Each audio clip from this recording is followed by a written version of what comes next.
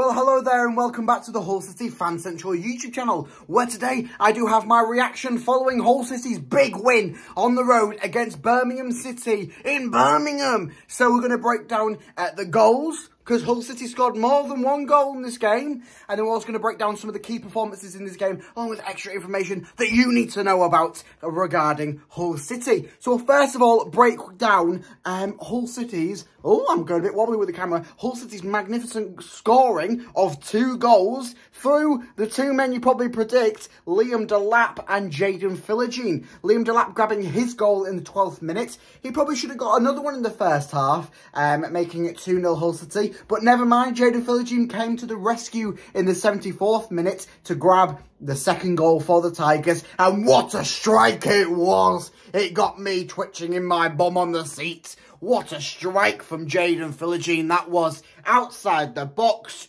Ryan Longman-esque. There was no chance Ruddy was saving that. He had no Ruddy way he was going to save that. Jaden Philogene, the man, the myth, the legend.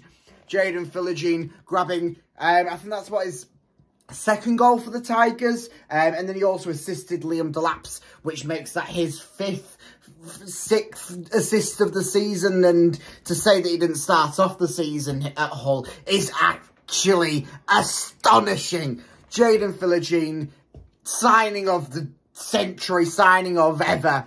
Five million from Aston Villa.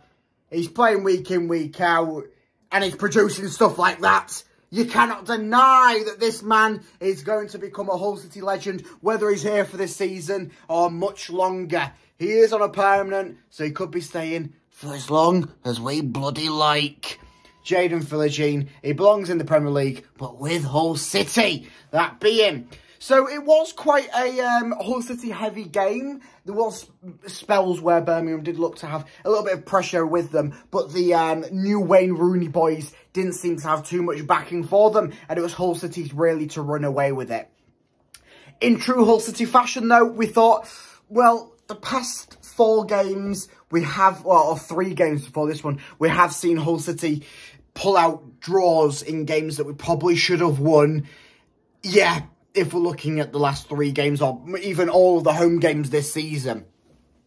But Hull City actually managed to grab the goals. It was the um, it was the strikers and uh, sort of the midfielders getting onto that opportunities that they didn't do um, that we saw against Southampton and many more games this season where they've actually managed to pull the trigger. We saw it at the start, but then it started, started to die off and then we thought, oh, it, we're going back to Hull City from last season where we're going to see 1-0 wins because no one's going to score or we're going to lose because no one's going to shoot and all that. Uh, but actually, to be fair to them, 17 shots in this game, 8 of them being on target. That's a good ratio. That's a good ratio. Uh, Possession-wise, we got a bit dominant in possession uh, over Birmingham. Um, but it was really a game where we saw Hull City can actually be a, be a somewhat dominant force in these games. Look at the table. Birmingham started this game above us. Um, I mean, we are we are now above them. We're sitting in eighth position, 20 points. You're looking, I mean, Leicester are pretty much running away with it. I mean, Ipswich sort of running away with it as well. But I mean, you look at uh, the other, uh, the rest of the uh, the lower end of the playoffs, sort of your third through to your sixth, pretty much. You're looking at Leeds are currently sitting in third on 22 points, Preston as well, and then the rest of them are sort of 21-20. Uh, so. We're technically tied for sixth place in the table, goal difference being the only factor there. Um, a good win on Saturday against Preston, which will be a tough test. Let's not say that uh, won't be because they're currently sitting fourth in the table. Recent form sways otherwise. We could see ourselves back into them playoff places. Mazzina really sort of bringing it out.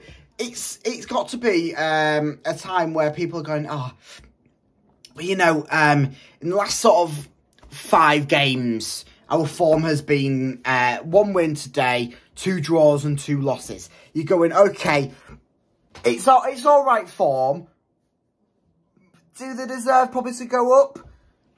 Yes. Yes, I'm going to I'm gonna say, based off recent form, I'm not, probably not going up, but certainly a playoff place a chance uh, a chance there for the end of the season where it, whether it comes down to the end of the season we just miss out on playoffs or what I don't I don't really care to be fair this season because when we knew coming into it that we weren't sort of the higher caliber team coming into this championship season.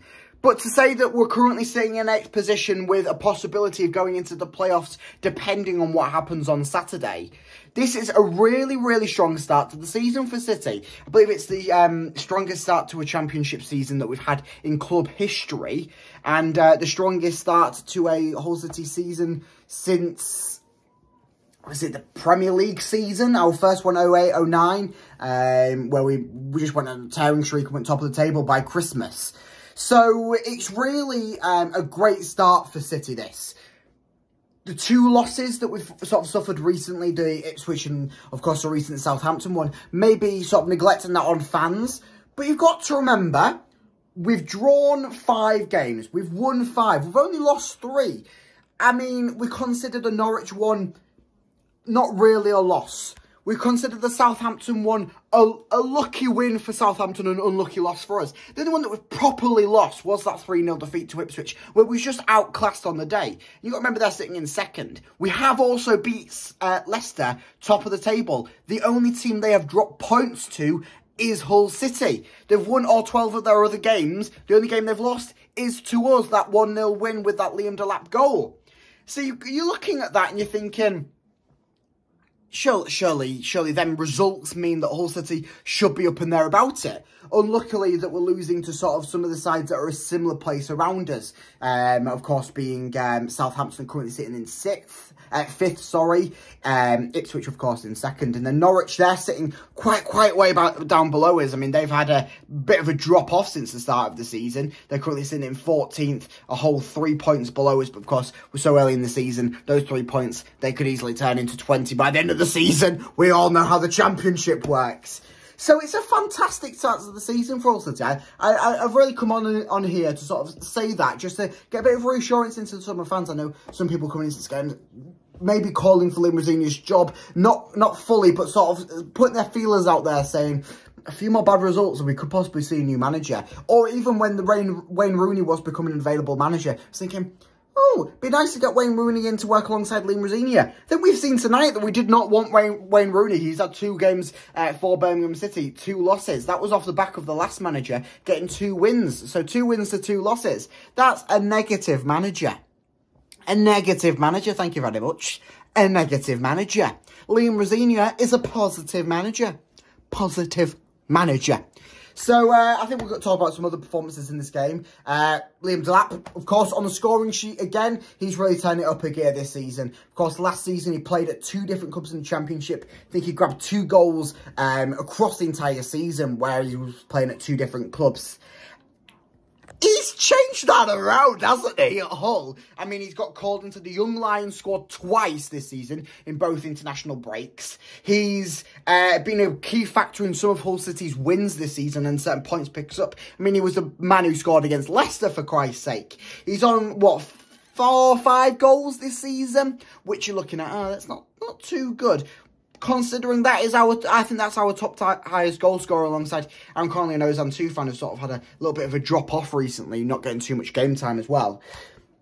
You got to think, Liam Delap, he is alongside Jaden Philogene, that is a partnership that you are looking for. It's reminding me, I'm not going to say fully yet. Of course, we do only have Liam Delap on a loan deal as of yet. Of course, it is reminding me a bit of Grosicki and Bowen. That sort of partnership that we saw there. In sort of the fact that when both of them were on their A games, Hull City were winning.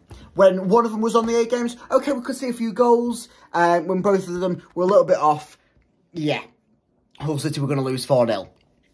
But we haven't seen that. I mean, that's in part due to Jaden Philogene being an absolute magician. Um, but Liam Delap, even when he has been having a few um, a few brilliant moments in games, Hull City have pounced on from that. Hull City have been doing well off the back of that. You just need them few key uh, moments and few key players, sort of them as bright sparks for a team to get lifted up. I mean, we've come from mid-table up now into the playoff places just off the back of one win. Early on in the season, points matter though at the start of the season. And also goals do matter. Um, so we'll see what happens on Saturday against Preston, of course, uh, being probably a bit of a deciding factor rather than a must-win game. Um, I'd be happy with a draw. Of course, I'd like to see a win at home. We haven't seen a win at home in quite, quite a long time. Uh, I don't think we've seen a win at home all season, or, or certainly on since the uh, Sheffield Wednesday game. That's what my memory's serving me correct. Um, so yeah, only uh, only a few days to go before we find out if we can push into the uh, into the playoff places yet again. But that's it for this video. Make sure you like and subscribe, as we'll have plenty more Hull City news and content coming out in the next day or two or three or four or five or every day.